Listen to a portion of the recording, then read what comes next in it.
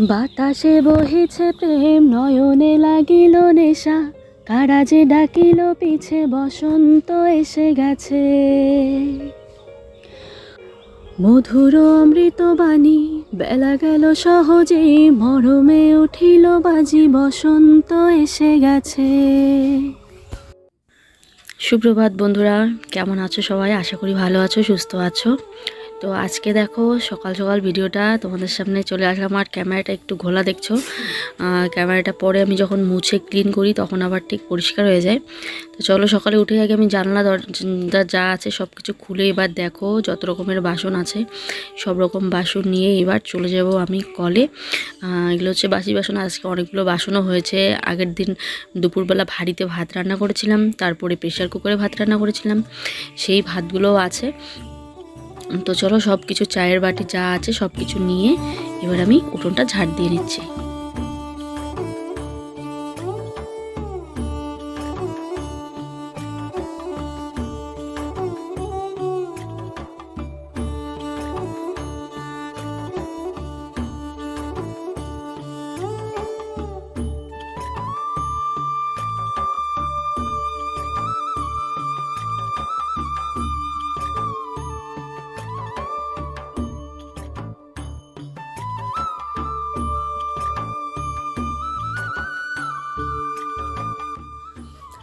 উঠোন ঝাড় দিয়ে চলে আসলাম আমাদের যে এই লম্বা রেলগাড়ির মতো রাস্তাটা, সেটাকে ঝাড় দিতে। সকালবেলা সবাই গরু নিয়ে যাবে, তারপরে আমি কিন্তু রাস্তাটা ঝাড় দিই। তো আমি কতগুলো পাতা মানে জমিয়ে রাখ- রাখি আর কি ওই ঘরের ওই পাশে পেছন দিক দিয়ে। তো সেইগুলোকে মা বার করেছে, বার করে এখন মা গামলাতে করে নিয়ে ফেলে দিচ্ছে। মানে ওই ঘরের পাতাগুলো আর রাস্তা দিয়ে আনতে মন চায় না, মনে হয় যেন ওখানে জমিয়ে রাখি, পরে ফেলে দিই। তো সেই পাতাগুলোই মা গামলাতে করে নিয়ে ফেলে দিচ্ছে। তো আমি রাস্তাটা ভালো করে ঝাড়ু দিয়ে নিলাম। এখন বাজে আটটা। তো আমি সকালে বাসি কর্ম বাসি কাজকর্ম সেরে এখন যাচ্ছি আমাদের এই যে পাশের একটু দোকানে। এখানে তো বড় দোকান নেই মানে বড় দোকানে যেতে হলে ওই রাস্তার পার দিয়ে ওই দিকে যেতে হবে। তো আমাদের এইদিকে একটাই খালি ছোট্ট দোকান আছে মুড়ি আনার জন্য যাচ্ছে। ভাগ্য করে মুড়ি পাওয়া যায় কারণ মুড়িটা অনেক দিন থেকে খাই না। আর যখনই দেখবে আমি মুড়ির জন্য দোকানে যাচ্ছি দোকান থাকে না মুড়ি। দেখা যাক যদি মিলে যায় আমার কথা তো তোমরাও দেখে নিও। মুড়িটা পাওয়া খুবই ভাগ্যের ব্যাপার। তো চলো দোকানে যাই।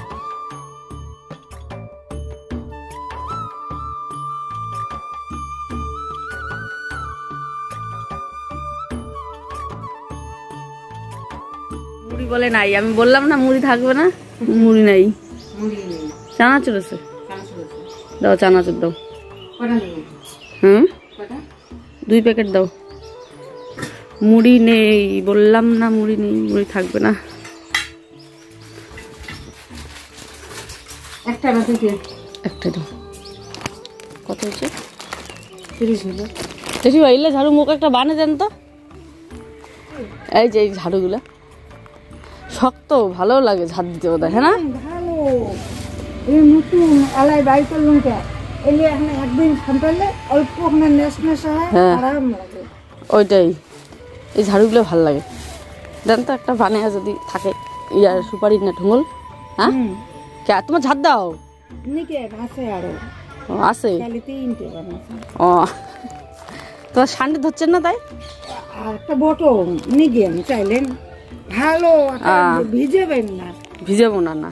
জল পাইলে নষ্ট হয়। এলে আচ্ছা। ইয়ে জিনিস। খালি যদি শুকান শুকান ঝাড় দেন আর এখন ঝাড়ি পুষড়ি দিয়ে দেবে দেখেন এখানে অনেক দিন যায় এখন মোর আরও হাড়ি বেরিয়ে কিনা নুন মতো হুম ভালো লাগে। ভাসামটাটাও নুন ঘর সামটাটার জন্য।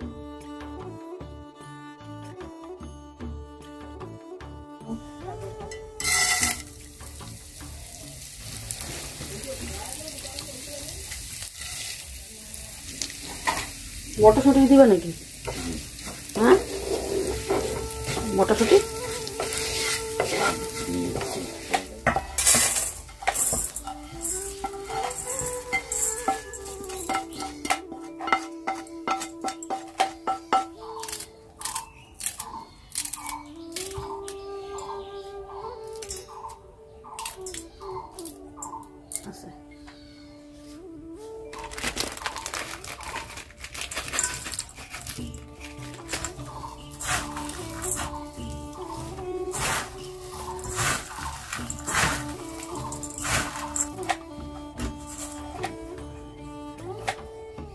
ওই যে বাটি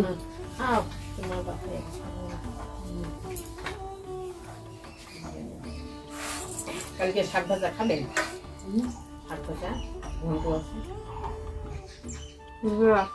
হ্যাঁ? মাংস দিয়ে লিখবে অল্প দিবে মাংস। হুম।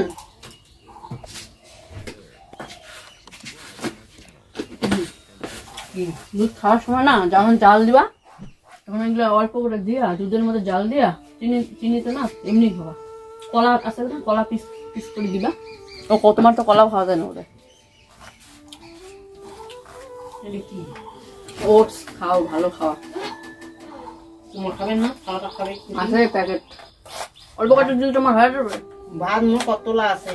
কালি তো আজ দুপুরে খাসি আরও আছে। এই দেখো সকাল সকাল ও কি করছে? এখন এই চিরা ভাজা টাজা খেলো খেয়ে দে ওখানে হচ্ছে স্যুপ বানাচ্ছে। তো জীবনে প্রথম স্যুপ বানাচ্ছি। জীবনে প্রথম স্যুপ বানাচ্ছে। বানাইনি। আমি নিজেও জানি না কেমন করে বানাই ওই দেখো জলের মধ্যে রসুনগুলো দিচ্ছে। আমি বললাম আমি দেখেছি বানাতে যে গোটা গোটা দিতে হয় আর ও কেটে কেটে দিয়েছে। আমি মানে যাতে গলে যায় গলে গেলে স্যুপটা ভালো লাগবে। আচ্ছা নাও তোমার স্যুপ যেন তুমি খাইতে পারো আজকে। তুমি খাবা না। ঠিক আছে। ঠিক আছে না দাও নাই। আমি খাব না তোমার। ফ্রিজের মধ্যে জমে থাকা কিছু সবজি যেগুলো আমি এতদিন থেকে ভুলেই গেছিলাম সবগুলোকে বার করে দেখো একটা ঝুড়ির মধ্যে নিয়ে বসেছি একটা মিক্সড ভাজা বানাবো বলে। তো দেখো এখানে পেঁয়াজ কলি ছিল পেঁয়াজ কলি জলপাই আলু। বন্ধুরা দেখো ওর স্যুপ হয়ে গেছে। বসিয়ে দিয়ে চলে গেছে, স্যুপ হয়ে গেছে, জানি না খেতে কীরকম হবে। তো চলো, এখানে আমি একটু গোলমরিচের গুঁড়ো দিয়ে নামিয়ে দিচ্ছি। আমি জানি এটাকে একটু হালকা ভেজে নিতে হয়, সকালবেলা এই নিয়ে আমার সাথে তর্ক লেগে গেছে যে না, ভাজতে হয় না, সিদ্ধ করতে হয়। তো যাকে ছাড়ো, যে যেভাবে বানায়। তো আশা করি ভালোই হবে। তো এইদিকে দেখো, আমি ভাত বসিয়ে দিয়েছি, হয়ে গেছে আমার আর এখানে আমি মিক্সড সবজি কেটে নিয়েছি এগুলোকে আমি এখন ভেজে নেব। পাঠিয়ে দিলাম স্কুলে আর এখন যদি তোমাদের ঘরের পরিস্থিতি আমি দেখাই তো ওদের এখন এগারোটা বাজে তো এখন আমি তাড়াতাড়ি করে ঘরের যত কাজ আছে সব কিছু করে নেব। রান্না সম্পূর্ণ হয়নি তো মাংসটা বার করে রেখেছি মাংসটা পরে রান্না করব। তার আগে আমি ঘরগুলো গুছিয়ে চান করব পুজো দিব তারপরে রান্না বান্না তো দেখো এই যে বিছানাপত্র পড়ে আছে, এই দেখো নিচে এগুলো কি পড়েছে এক গাদা। একটা ব্যাগ ছিল, এই যে এই ব্যাগটাকে, ছেঁড়া ছিল ব্যাগটা, ব্যাগটাকে আমি সেলাই করলাম। মানে আয়ুষের যে স্কুলের টিফিন হয়, সেটা হচ্ছে মানে ওদের ব্যাগে নিয়ে যেতে দেয় না। আমাকে বল আমাদের মানে আমাদেরকে নিয়ে যেতে হয়। বলছে গার্জেনকে বাবা, এই জায়গাটাও ছিঁড়া, এ ছিঁড়ে গেল ওই জায়গাটাও। আবার সেলাই করতে হবে।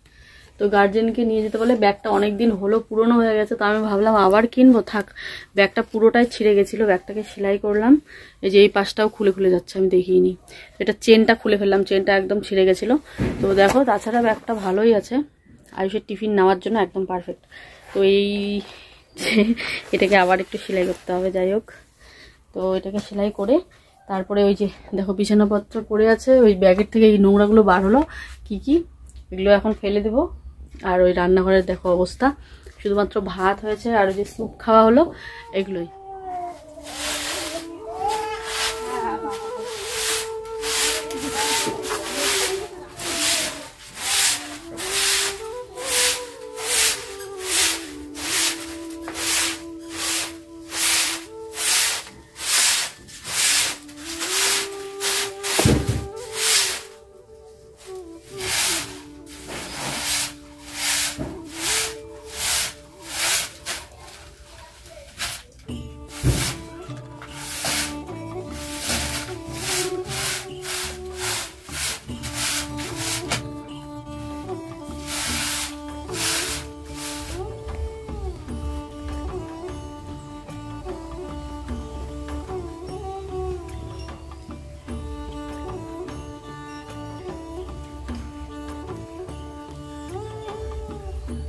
পুজো দিয়ে বার হয়ে পড়লাম স্কুলে যাওয়ার জন্য।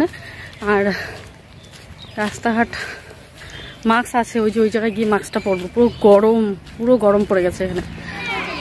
টিফিন খাচ্ছে।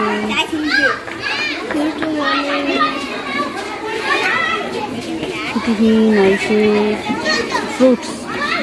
পাগল নদীর থেকে। ইস ইস লজ্জা লাগে। লজ্জা লাগে। সান এখন করে আসলো এখন বাজে। তো এখনই স্নান করে আসলো। নদী থেকে নদী থেকে চান করে আসছে। আর আয়ুষ এখনও আয়ুষ এসে মোবাইল দেখছিল। তো এখন নাকি ভাত খাবে। আয়ুষ তখন এসে ভাত খায়নি কারণ এ বাবা ঘরে এত অন্ধকার। আমাদের ঘরটা এত কি খায় তুই? হ্যাঁ? টোস্ট আমাকে একটু দাও না বাবা। দাও না আমাকে। হুম বিছনার চাদরটা কি সুন্দর লাগতেছে রে?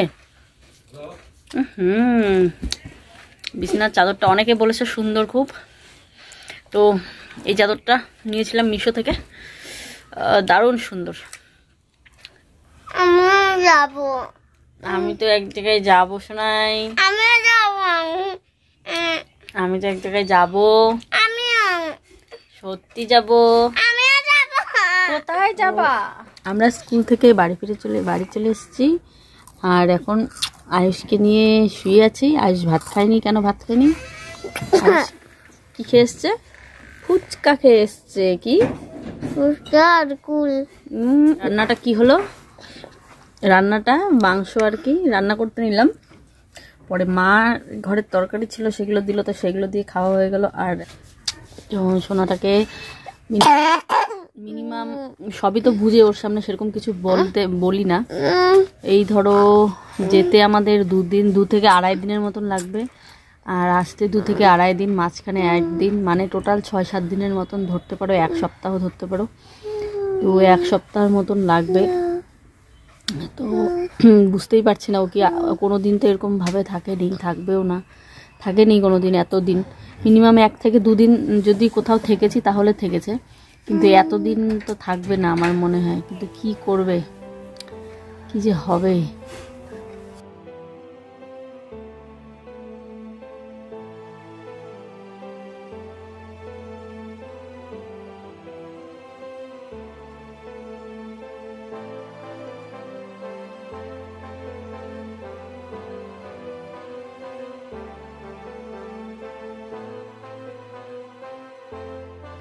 আয়ুষ এই মাত্র স্কুল থেকে আসলেই মাত্র নয়, অনেকক্ষণ হয়েছে। তো এসে রান্না করতে চাইলাম, তো রান্না আর করলাম না, কারণ রান্না এই কারণেই করিনি। মা বলছে যে মার ঘরে অনেক সবজি আছে, কালকে রান্না করেছিল। তো এই বাবা, গাছ কেটেছে। ওই দেখো, গাছ কেটেছে। তো তা মা বলল যে, বাদ দাও, এখন রান্না করে, রাতে একবারে করো। তো মা সবজি দিল, মাছের ঝোল, শাক, এসব আর কি। তো সেগুলো দিয়ে খেয়ে নিলাম। খেয়ে দিয়ে আয়ুষকে, ওর বাবা আর আয়ুষ এখন খাচ্ছে। দিলাম, আয়ুষ প্রথমে খায়নি আমার সাথে, তো ওর বাবার সাথে খেলো আর কি। আমার আজকে খুব খিদে পেয়ে গেছিল, তো আমি স্কুল থেকে এসেই ভাত খেয়ে নিয়েছি। তো যেটা বলা মানে আয়ুষকে খুব আজকে মানে ভাবছিলাম মানে এতদিন ভাবিনি যে আমি মাথার মধ্যে একটা ছিল, আয়ুষকে রেখে যাব রেখে যাব মার সাথে। তো তারপরে না, আজকে স্কুলে বসে বসে একটা জিনিস ভাবলাম, যে বাচ্চাটা একদিন, দুদিন থাকে, কিন্তু তিন দিনের দিন ও খুব মানে মানে কান্নাকাটি না করলেও মন খারাপ হয়ে যায়, বারবার আমাদের কথা বলে। যে বাচ্চা দেখবে মা বাবাদের জন্য বেশি কান্না করে, তারা দেখবে যখন একটু খেলাধুলা পাবে, হয়তো ভুলে যাবে বা এরকম কিছু হতে পারে, আমি জানি না কি, কিন্তু আয়ুষকে আমি কোনোদিন হাউমাউ করে কান্না করতে দেখিনি মা বাবার জন্য মানে আমাদের জন্য। কিন্তু ও খুব কষ্ট পায়, আমার মা বলেছে, বলে ও খুব একা একা মন মরা হয়ে বসে থাকে খুব খোঁজে আমাদের মনে মনে। তো মানে কাজ একটা এরকমই জিনিস, সত্যি মানে এটা আমি আজকে বুঝতে পারলাম যে কত এরকম বাবা মা আছে না, বাচ্চাদেরকে কাজের জন্য সেরকমভাবে দেখাশোনা করতে পারে না বা তাদেরকে অন্য কারও কাছে বাচ্চাদেরকে রাখতে হয়।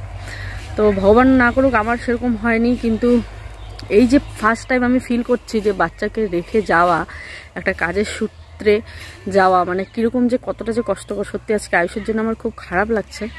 তাই আজকে সারাদিন বেশি একটা ওকে মানে বকাছকা করিনি মানে এই কারণে, সেই কারণে। একটু হলেও মানে আমি ওকে মারি না, একদমই মারি না মারি না ওকে, খুবই কম। মানে খুব কম বলতে খুবই কম, খুব কম আমার ওর উপর গায়ের হাত ওঠে।